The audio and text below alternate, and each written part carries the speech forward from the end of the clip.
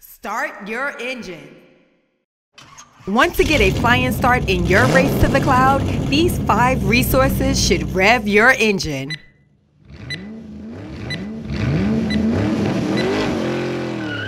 Number one, speed over to Genesys onboarding webinars. These quick and free webinars are driven for PureCloud's onboarding specialists. Buckle in for a scenic lap around some valuable resources that will empower you as you take the wheel of your Genesys environment. Number two, go the distance and check out the Genesys Beyond site. There you can check out our showcase of the professional training and certification options that Genesys has to offer and start down the education path that makes the most sense for you. Number three, fill out your pit crew with some new friends from the Genesys Cloud community. Join thousands of Genesys professionals who are all eager to share experience and hear about yours. Number four, if you are leveraging APIs to boost performance, our Developer Center is ideal for loading up on API details, cruising real life examples, and asking questions. Number five, don't let other great Genesys resources and announcements hide in your blind spot. The Genesys Knowledge Network provides a customizable dashboard where you can easily keep track of all things Genesys and prioritize the information that most interests you. All right, the race has started. Go get them!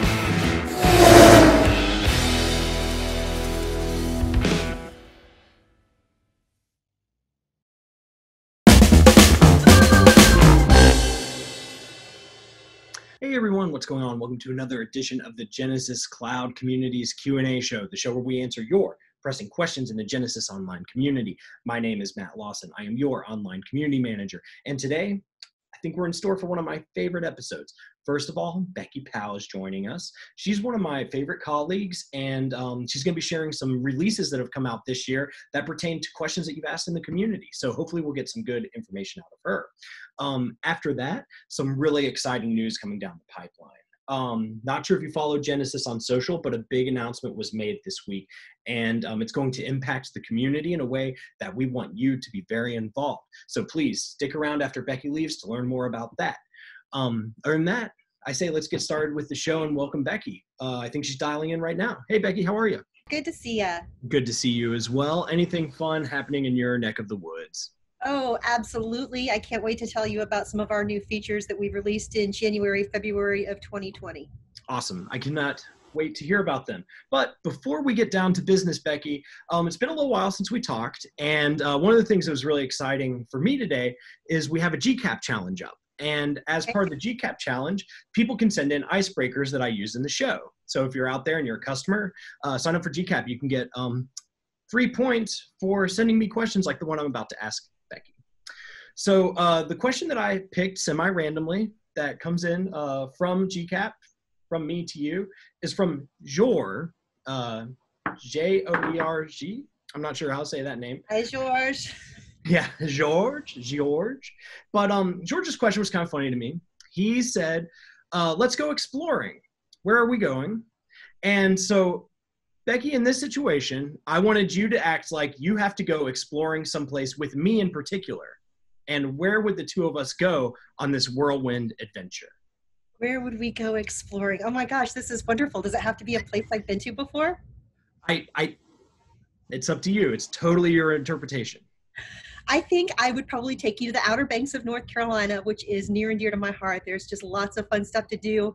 Go to the beach, see the humpback whales are actually uh, are inland this time of year, so you can actually see the whales from the beach. Piers and lighthouses, and lots of really good food. So that, that's where we would go exploring.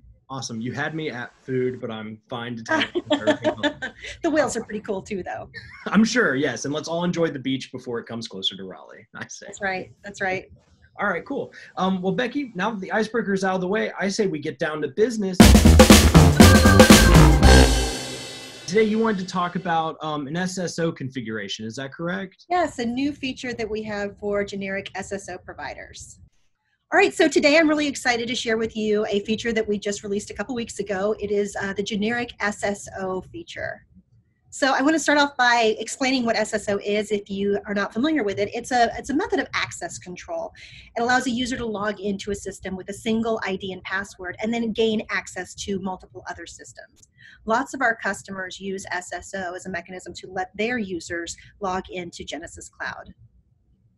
Right now, we integrate with six of the most commonly used SSO solutions. So solutions you may have heard of, like G Suite, Ping, Salesforce, Okta, OneLogin, and Azure. But we know that there are over 80 SSO providers currently in the marketplace, and that number grows every day. It, it, we simply just can't support them all. so, our solution is the new generic SSO provider feature. This allows customers to use almost any identity provider that uses the SAML 2.0 protocol you might want to know what SAML is. It stands for Security Assertion Markup Language, but the important thing to know is it's a security protocol that uses tokens to pass information between an identity provider, like Okta, for instance, and a service provider like Genesys Cloud. It's super easy to configure generic SSO in Genesys Cloud, very straightforward. So all users need to do is provide the SSO integrator's logo, name, certificate, and a little bit of metadata from their SSO provider, and they're good to go. Once the configuration is saved, the customer's users can then just log directly into Genesys Cloud by logging by clicking on the logo of their generic SSO provider. I just picked one at random here, RSA, which is a provider that does support SAML 2.0 as an example. And it's really that simple. Awesome. That sounds great. And yeah, I agree with you. Way to um just really open it up and make it easy for everybody to use.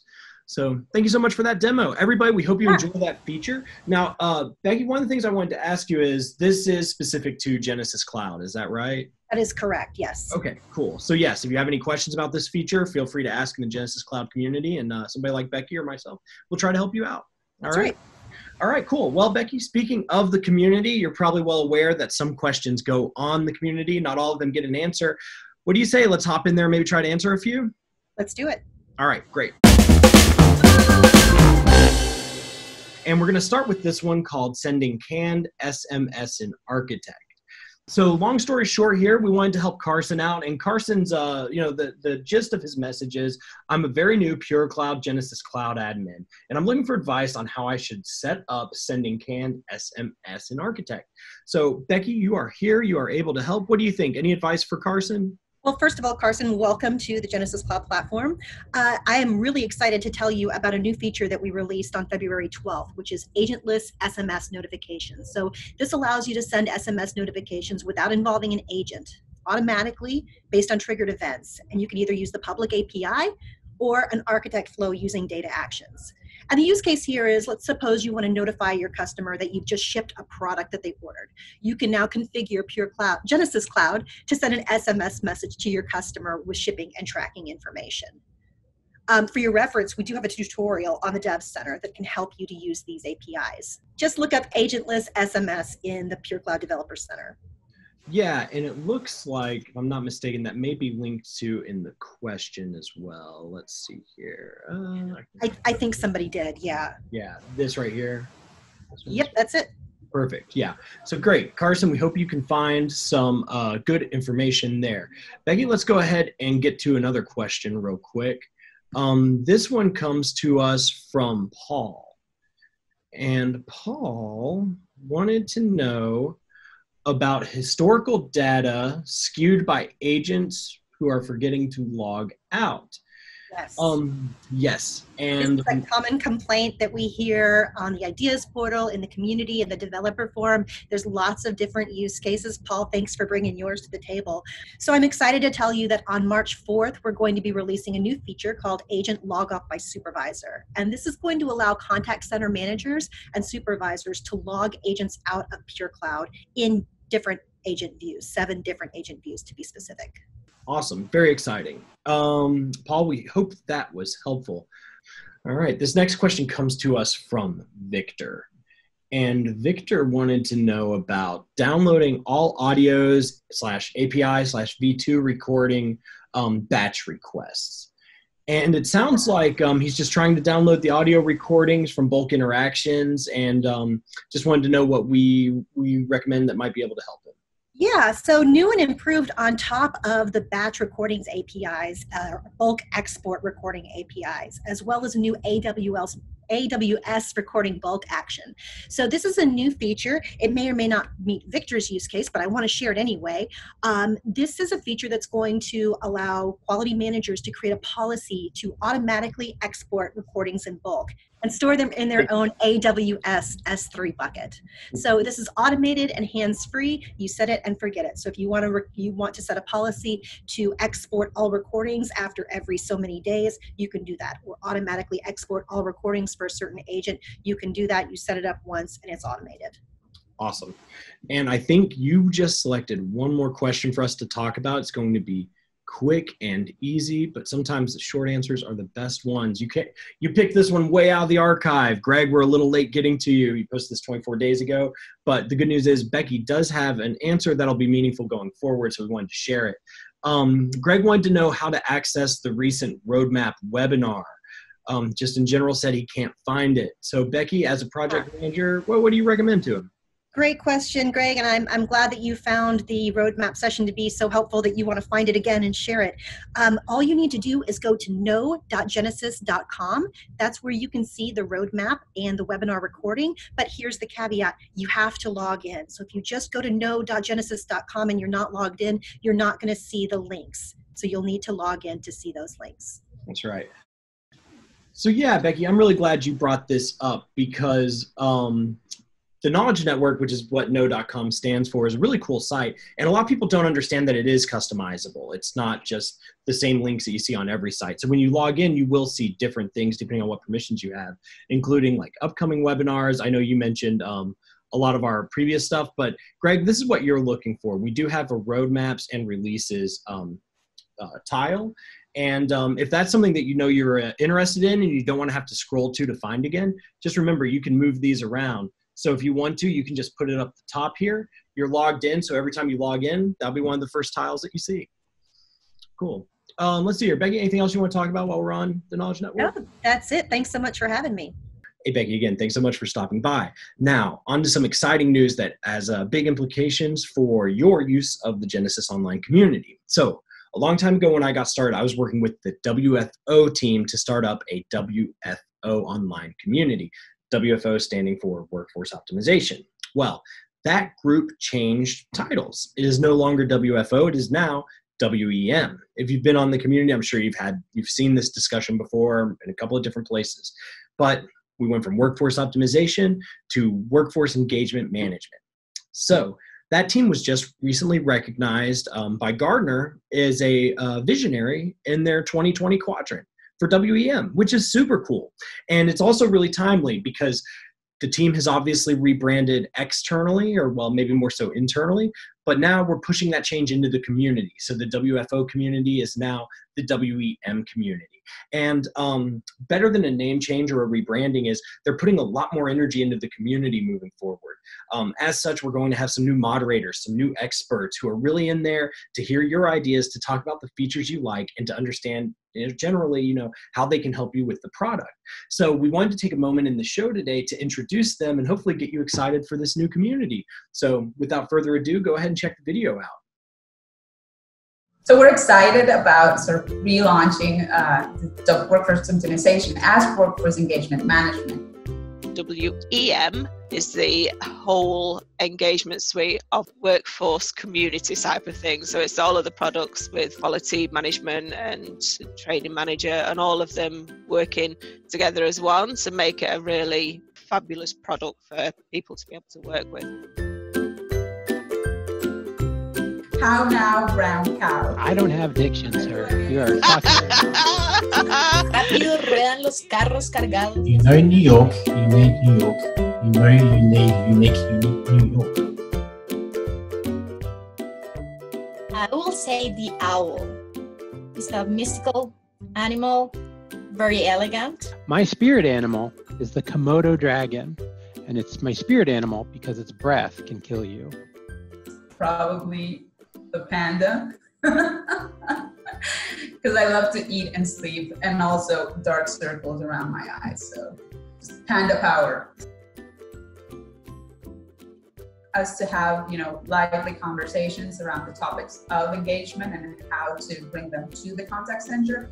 You know, we really want to talk to our customers and our consumers. I think we really want to have a vibrant community and we want to hear their ideas and we want to talk about those ideas. Uh, it's a good place to have questions answered and raised and get everybody involved. So I'm hoping it's going to grow. As we add features, we need to discover those features together using the community, using our organization, and sitting down and looking at the changes as they come out and understanding how they affect us in our operations. So when I was younger, I used to do modelling, um, catwalk modelling. I always know where north is, and I can usually tell time to within about five seconds without a watch. I do get into a lot of photography, so um, when I do have some spare time and when I'm not trying to build products, um, I'm trying to get outside and get to some landscape photography. I'm really good at like reaction gifts. Like if we're having a conversation, they'll be like, "Oh, you sent the perfect gift" or something. We're super nice. Come join the community. We're excited to have you and to hear your questions. Uh, looking forward to working with our customers on the community uh, forum uh, and also some building some really great product for our users. We know WPM is the next step for a great, great, great customer experience. We need to have engaged employees. Don't forget to use the Idea Labs to vote for new features and don't forget to vote please engage as much as you can on the WEM community. We're here to help, and others alike, that where the experts are going to be. So don't be afraid to ask any question whatsoever. No question is a stupid question, so please ask away.